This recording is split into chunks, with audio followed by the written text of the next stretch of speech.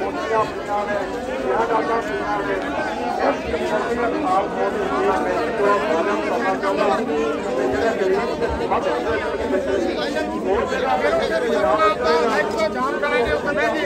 ਉਨਤ ਕਰਨੀ ਹੋਰ ਦੇਗਾ ਜਿੰਨਾ ਜਨ ਕਰਦੇ ਕਰਨਾ।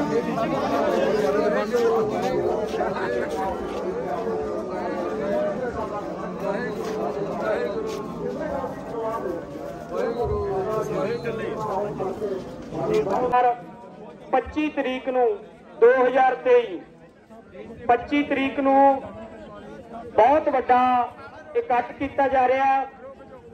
ਬੰਦੀ ਸਿੰਘਾਂ ਦੀ ਰਿਹਾਈ ਲਈ ਕੌਮੀ ਇਨਸਾਫ ਮੋਰਚੇ ਦੇ ਜਿਹੜੇ ਮੁੱਦੇ ਨੇ, ਵਿਸ਼ਿਆਂ ਦੇ ਉੱਤੇ ਅਸੀਂ ਧਰਨੇ ਤੇ ਬੈਠੇ ਆ ਉਹਨਾਂ ਤੇ ਕੇਂਦਰਿਤ ਹੋ ਕੇ ਉਹਨਾਂ ਵੱਲੋਂ 25 ਤਰੀਕ ਨੂੰ ਬਹੁਤ ਵੱਡਾ ਪ੍ਰੋਟੈਸਟ ਕੀਤਾ ਜਾਣਾ। ਉਹਦੇ 'ਚ ਸਾਰੀਆਂ ਹੀ ਯੂਕੇ ਦੀਆਂ ਸਿੱਖ ਜਥੇਬੰਦੀਆਂ, ਸੰਸਥਾਵਾਂ, ਮਨੁੱਖੀ ਅਧਿਕਾਰ ਸੰਸਥਾਵਾਂ, ਗੁਰਦੁਆਰਾ ਪ੍ਰਬੰਧਕ ਕਮੇਟੀਆਂ, ਸਾਰਿਆਂ ਵੱਲੋਂ ਵੱਡੀ ਗਿਣਤੀ ਦੇ ਵਿੱਚ ਭਾਗ ਲਿਆ ਜਾ ਰਿਹਾ ਹੈ।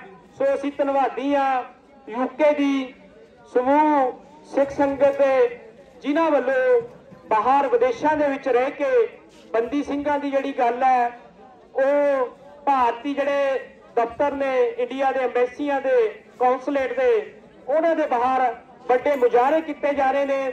ਅਸੀਂ ਵੀ ਕੌਮੀ ਇਨਸਾਫ ਮੋਰਚੇ ਵੱਲੋਂ ਵਿਦੇਸ਼ਾਂ ਦੀਆਂ ਹੋਰ ਸਿੱਖ ਸੰਗਤਾਵਾਂ, ਜਥੇਬੰਦੀਆਂ ਨੂੰ ਵੀ ਅਪੀਲ ਕਰਦੇ ਆ ਕਿ ਇਹ ਨੌਜਵਾਨ ਵੀਰਾਂ ਦਾ ਬਾਂਸਗੀ ਬਾਂਸਗੀ ਰਾਜ ਕਰੇਗਾ ਰਾਜ ਕਰੇਗਾ। ਕਰੋ ਬੰਦੀ ਸਿੰਘ ਰਿਹਾ ਕਰੋ। ਸ੍ਰੀ ਗੁਰੂ ਗ੍ਰੰਥ ਸਾਹਿਬ ਦੇ ਬੇ- ਕਰਨ ਵਾਲੇ ਦੋਸ਼ੀਆਂ ਨੂੰ ਸਜ਼ਾ ਦਿਓ। ਸ੍ਰੀ ਗੁਰੂ ਗ੍ਰੰਥ ਸਾਹਿਬ ਦੀ ਬੇਅਦਬੀ ਕਰਨ ਵਾਲੇ ਦੋਸ਼ੀਆਂ ਨੂੰ ਸਜ਼ਾ ਦਿਓ।